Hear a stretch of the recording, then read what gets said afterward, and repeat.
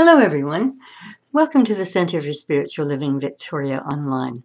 My name is Carrie Hunter, and I'm the spiritual director of the center. And it's a pleasure to see you here with us today. Uh, today being after our Sunday service. And um, I think I'd like to start today with an invocation the way that I do at our center, because I think it's so important for grounding us. So I just invite you to, if it's comfortable for you, to close your eyes and just um, be with the presence within uh, for a couple of minutes as I go through this. And know with me that we are drawn together by the power and in the presence of God. And we give thanks to the Esquimalt and Songhees people and whose unceded land we meet today. And here we pray. We pray for the good of all humanity for it to rise up and for love to awaken in every heart. And today, we hold in highest consciousness those in Atlantic Canada, Florida, South Carolina, and Georgia, those who suffered staggering loss of property and life in hurricanes this past week, and people of Pakistan, May they find relief from their flooding. Our hearts are open wide to all suffering. We all do what we can, and above all else, we pray. We pray for their safety, the rebuilding of their lives, for the courage to weather every storm. And we pray for those in war torn countries that there be peace, that we find peace in our own hearts as they do in theirs, and their lives change. We pray the same prayer for everyone, recognizing that God is truly all there is. And this powerful presence has its being in, as, and through each of us and its highest and greatest expression is love. Today we're conscious of all the good around us, and also the understanding that unexpected things happen. And when they do, we find our comfort in the energy of the divine that is indwelling in each of us. We acknowledge our oneness with God with the intelligent energy that binds us to one another. We mindfully, prayerfully go forward, knowing that happiness and health and abundance and peace are ours today and forever. For the living Spirit of God is indwelling in each of us. I am so grateful to know that this is so.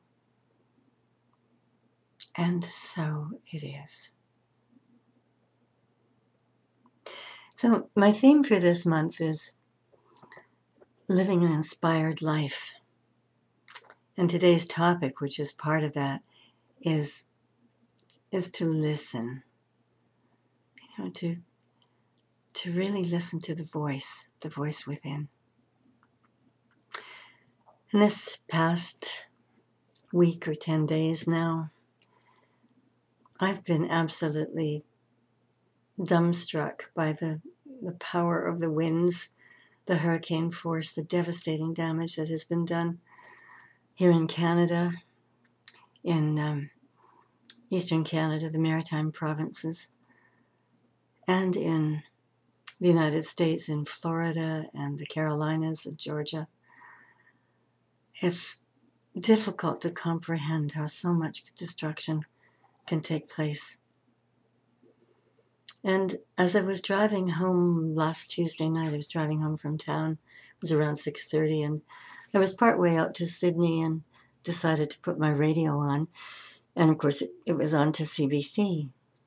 And the woman who was the moderator was asking people to call in with their experiences from the hurricane. And I thought, uh oh, you know, this is going to be more about all of the terrible things that people have experienced And I felt super saturated with it already.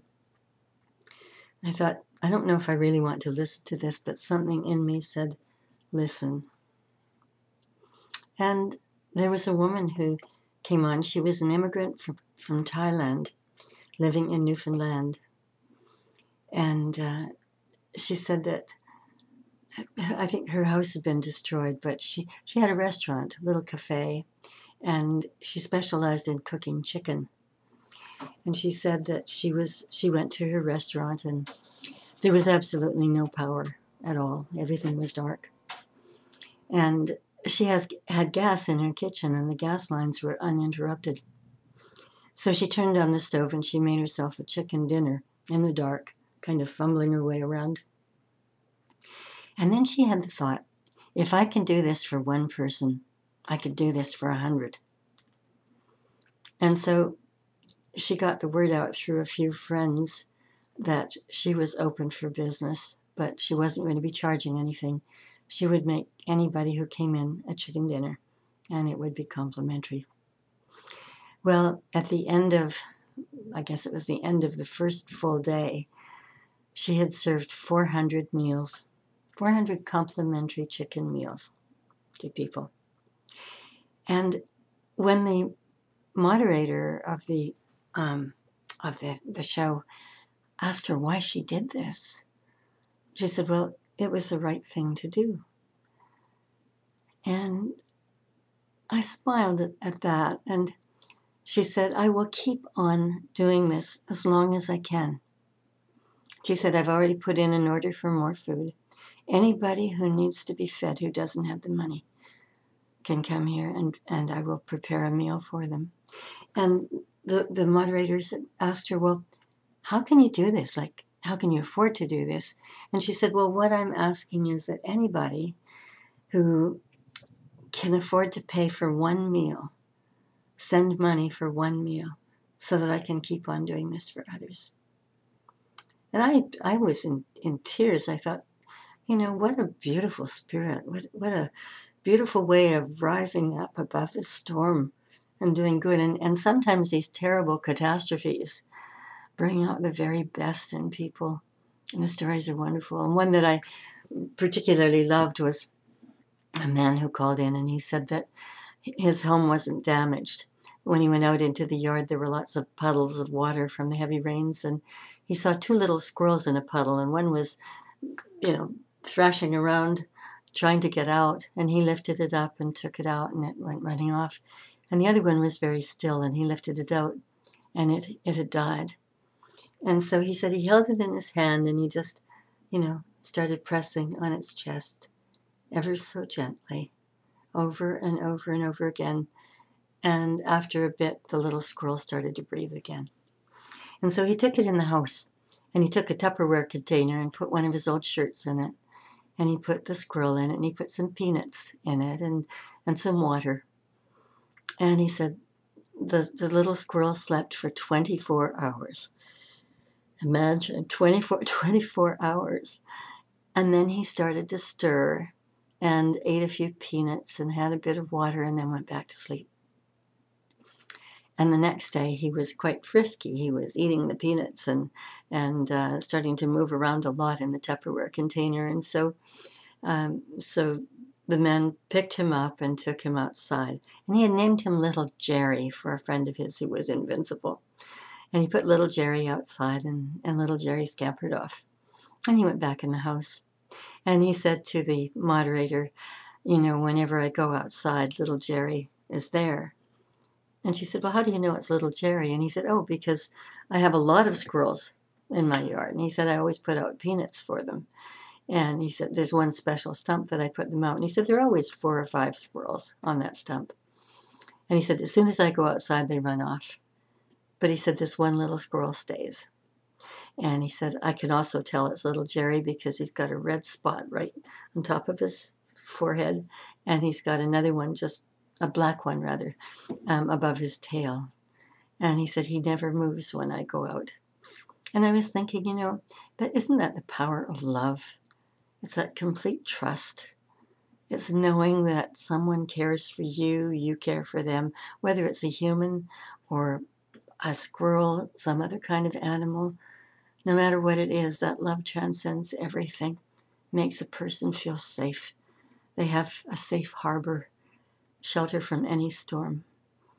And they know that from the inside out. And I love that. You know, we might, we might think that, well, feeding 400 people and more is really big. And saving a little squirrel is a little thing to do. But in the mind of God, there's no small and there's no big. Everything is the same. And we need to, we need to remember that. Everything is the same. In the end, the thing that is important is that we do the right thing. And I was reading um, Patanjali, who was a philosopher 2,300 years ago. 2,300 years ago. And I want to share this with you. Excuse me. I had been reading something written um, for a long, long time. When you're inspired by some great purpose, some extraordinary project, all your thoughts break their bonds. Your mind transcends your limitations. Your consciousness expands in every direction, and you find yourself in a new, great, and wonderful world. Dormant forces, faculties, and talents become alive, and you discover yourself to be a greater person by far than you ever dreamed that you could be. He is talking about consciousness 2,300 years ago. You know, we think that we're the discovery um, vehicles for new thought. Been going on for a long, long time, ancient wisdom. In other words, in times of challenge, whether it's something like a devastating storm or a new project being offered as our minds expand to embrace the thoughts and ideas that come from our inner guidance, sometimes it's immediate. Sometimes it happens after deep meditation. And the thing is that we need to allow our minds to do so, to listen, because wonderful things happen when we listen, and that's when we get divine guidance.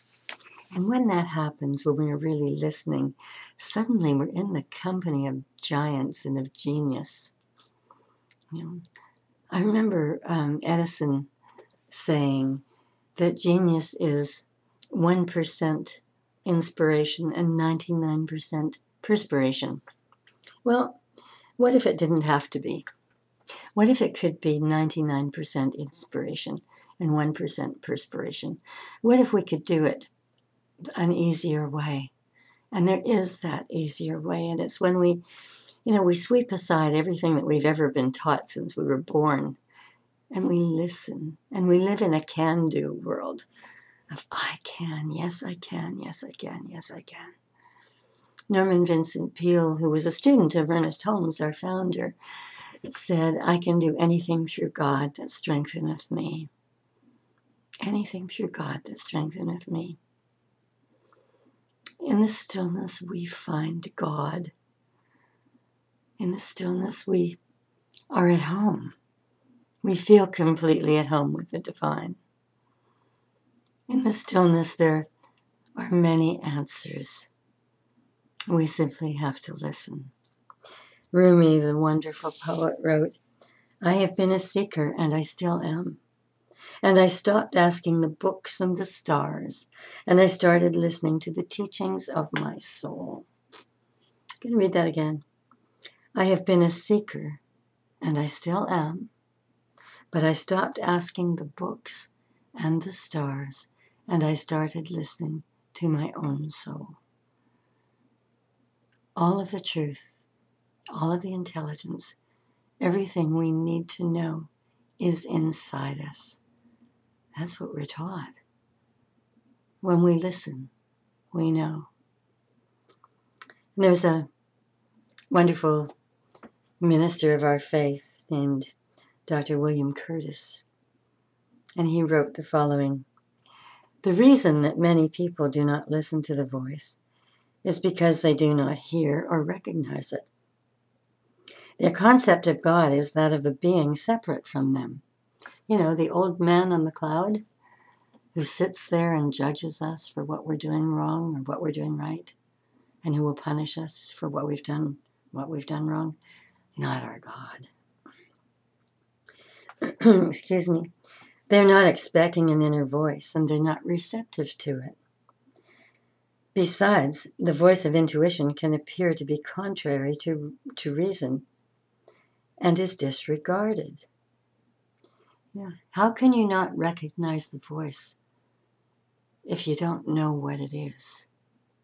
And if you're not receptive, and if you think that your ego mind is going to take care of everything. When we truly accept that we are both spirit and human, truly accept and know excuse me, and know it at a deep and abiding level, then it stands to reason that if we stop struggling and listen to spirit within, we will find an inner prompting, a calling, a guidance about what to do next. And we will be given intuitive messages to follow. And when we do, our greatest dreams can be realized. So, how about you? Do you live in a can do or can't do place in life. You know, the, the can't do lacks inspiration and has to look for it. You know, little Jerry or someone in history who wouldn't take no for an answer. And we have to look for the divine gift in any situation, in anything we're going through that is troubling us, that is that is putting us into a place of chaos of anguish, of anxiety. You know, we have to look for that divine gift. I was um, talking to our, to our practitioner class on Wednesday of last week, and and I was saying, you know, it doesn't have to be hard. You know, we have this concept that everything has to be difficult, or a lot of things have to be difficult in our lives. And I learned this a long, long time ago. I learned it before email, before the internet, and before I got into the teachings of science of mind. I didn't know about them at all. And I was working on a big international festival that I did each year with a wonderful group of people in support. And I found that, you know, I I was in touch with people all over the world every day. And I found that I was on the telephone all day because I would start early in the morning on, on the phone to Europe or, or to Asia or to Australia. And then, then I would, you know, as the day went on, I would move into different time zones with my calls. And I would have a, um, a black bound book uh, um, of, where I kept my notes. And every time I thought of something else I had to do, I would just make a quick note of it. And typically by the end of the week, I would have pages of notes. I can remember once starting to number them, and I would be up in, in the 150s of things to do. And when I got to Friday, I would think, oh, I haven't accomplished anything. You know, I've got to go through my to do list and move things over to Monday. So I'd start going through the list, and what I discovered was that things had already taken care of themselves, that I didn't have to do them and it was it was like a miracle. It was magical to me. And that one example that I can give that was huge. There were many, but one that I can give that was huge was I had made a note that I would like to have Sony come and demonstrate high definition television at our festival. Now, it was long before the days of high, defini- def- high definition television being um, something that was commonplace. And you know, a screen for HD TV took up a wall of an entire room. So imagine shipping that from from Japan, uh, from Sony of Japan, to Banff, Alberta, and sending technicians to set to set everything up and to run the demonstrations, to show them to people. Imagine what that would cost. You know, probably at the time it was a hundred thousand dollars, maybe 150,000, much more in today's dollars. Anyway, I had made that note. I wanted Sony to do this, and I was going to call the head of Sony um, and the head of um, the national network in Japan to see what could be arranged. Anyway, when I got to that note in my book, I smiled because the head of Sony had called me during the week and had asked if Sony could come to our festival and demonstrate HDTV. Well, of course, I said yes. But when I looked at this in my notebook, I thought, you know, there's no need to worry about anything. You know, this festival was destined to be. Everybody said it was magic. People who attended it said it was magic.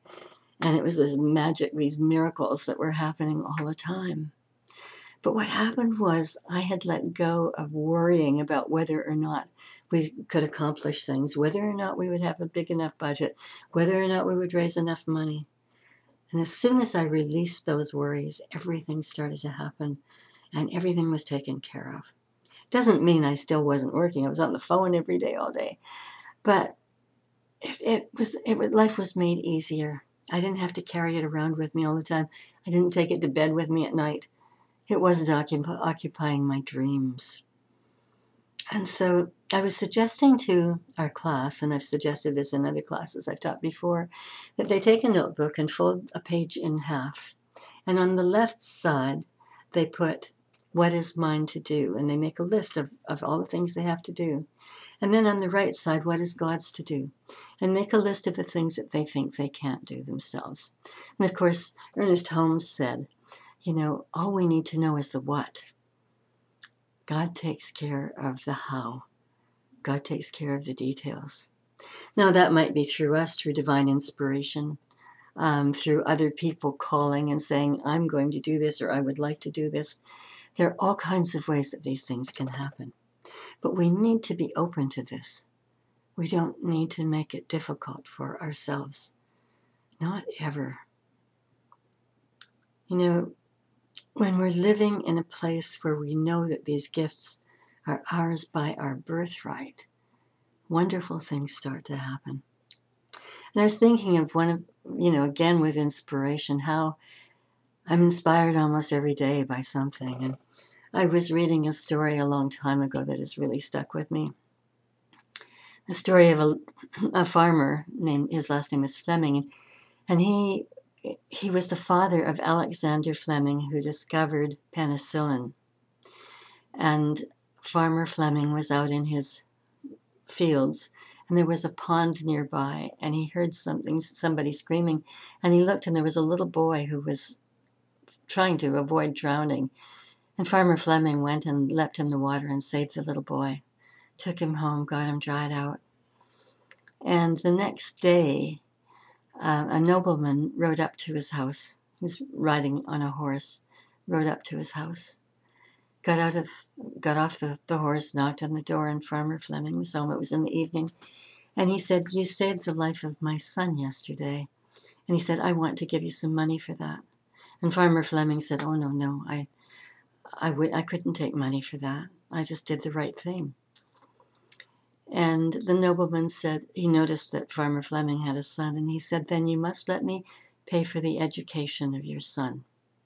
I could have lost mine, but let me pay for the education of your son. And Farmer Fleming could not ignore that, could not refuse that, because he knew that he could never do that for his boy. And so he thanked the nobleman and he agreed. Anyway, Alexander Fleming went to the best schools, the best universities, and it was he who discovered um, penicillin, which has saved so many lives. Now, it happened that at that time, just after the discovery, Sir Winston Churchill contracted pneumonia, and he was very seriously ill. And he was given penicillin, and it saved his life.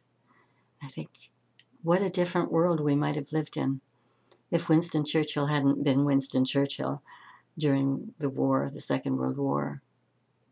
But here's the thing that is really, really miraculous that makes you wonder about destiny, about fate, about karma, about whatever. And that's that the little boy that Farmer Fleming saved was Winston Churchill as a boy. Beautiful, beautiful example of what goes around comes around. God in action at the highest level. I mean that that story just it gave me chills right through to the bone, God bumps, when I read it a long time ago, and it has never ever gone away. You know, we have these inner instincts in us. Sometimes it's something instant like Fleming, and other times character is built through silent meditation and prayer, and we are shaped into the right person at the right time in our history, in our daily lives. You know, and how do we know that we're doing the right thing? How do we know that we're listening to this inner voice, that we're listening to this calling? As Wayne Dyer said, we know it because it feels good. When it feels good, we're living an inspired life. And so I suggest that we look for inspiration all along the way. The other night, I, I think it was Saturday night, I had finished working and I uh, turned on my television set and I had recorded a Stephen Colbert show from days before and I hadn't watched it. And I don't typically record it, but something called me to, to do that. And there was um, an astrophysicist who was on the show. His name is Neil deGrasse Ty- Tyson. And I sat there absolutely mesmerized, my jaw dropping some of the time. And he had a, a, a photograph, or Stephen Colbert had a photograph, that was taken from the telescope that the Americans sent out one million miles into space. Took five years to get there.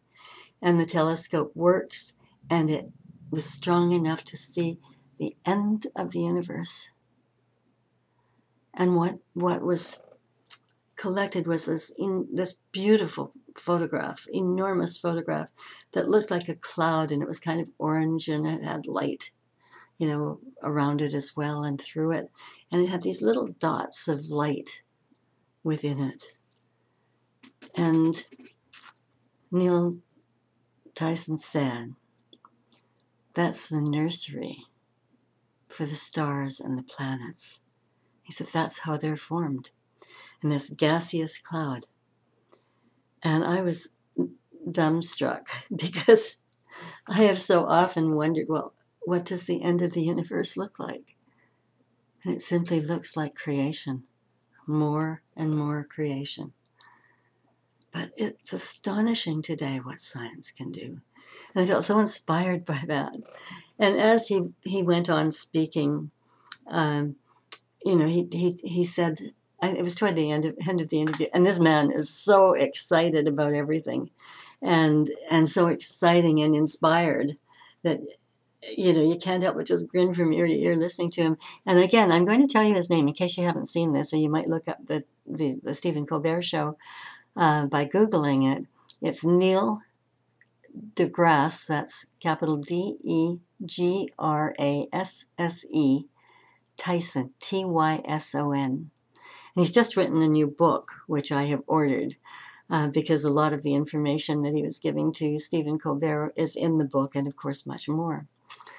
But at the end of the interview, he said, You know, maybe Elon Musk has a space bus in his garage. Not a spaceship, a space bus.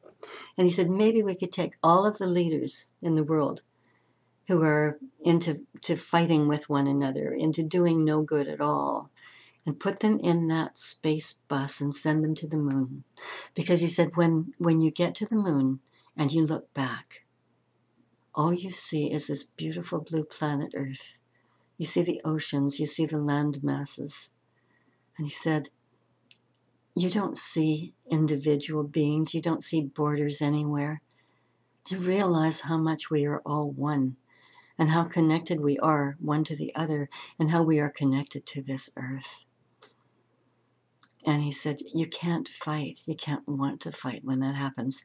And I was remembering when America put the first astronauts on the moon. And when they came back, Jean Houston was the great anthropologist, was called in to debrief them because NASA was not being very successful at it.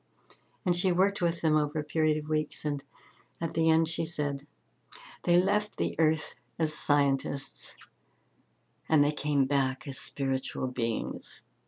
No one could look at this beautiful planet from outside without feeling the presence of God. And I remember hearing back then, at 1970, I guess it was, um, it was 1969. Um, I remember hearing um, that in China, every Chinese who had a little had a home of any kind had a picture of Mao on the wall. They they worshipped Mao, and all of those photographs came down, and instead, photographs of planet Earth were placed on the wall, and they began to worship planet Earth. We have to hold these things in our hearts. You know, space travel, seeing the seeing the end of the universe, continuing to create.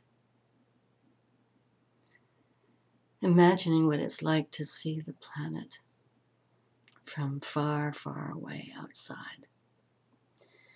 You know, these are enormous, enormous parts of our inspiration. And the thing is, once again, there is no small, no large, no gigantic, no enormous in the mind of God. There's simply the right thing. So, what is your right thing to do? You'll know when you feel good.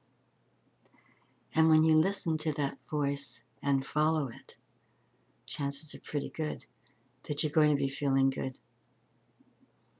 And do you want it to be one part inspiration and 99% perspiration, or 1%, 1% perspiration and 99% inspiration.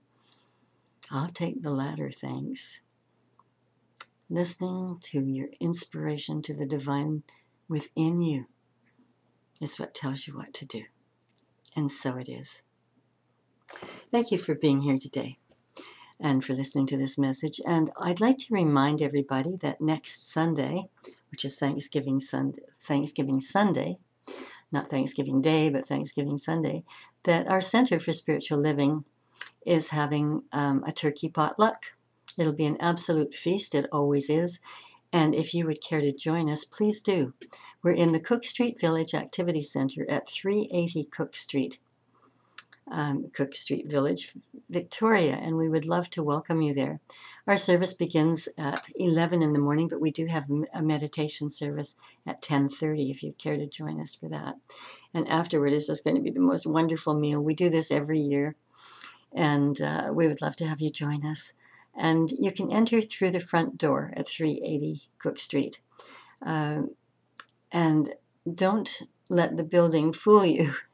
Um, it's uh, it, there's a sign up that says wellness center and that sometimes confuses people we do put out our own sign that says center for spiritual living but sometimes people see the wellness one first and they can't find us so just know that you're in the right place when you see that and we'd love to have you join us for the service and join us for food afterward and just to get to know us Bless you. Have a wonderful week, and may your hearts be filled with gratitude as we approach this special celebration this year.